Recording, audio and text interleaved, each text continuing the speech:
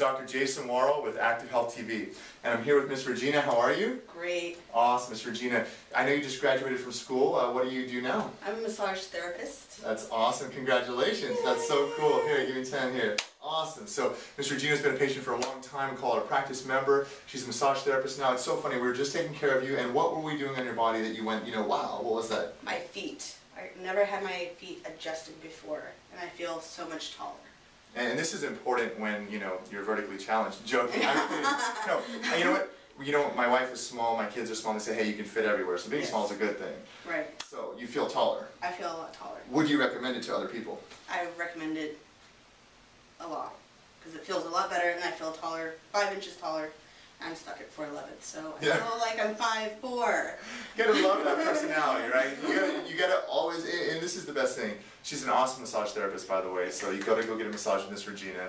You gotta get your feet adjusted, and you gotta definitely find somebody who can do it. No, I'm kidding.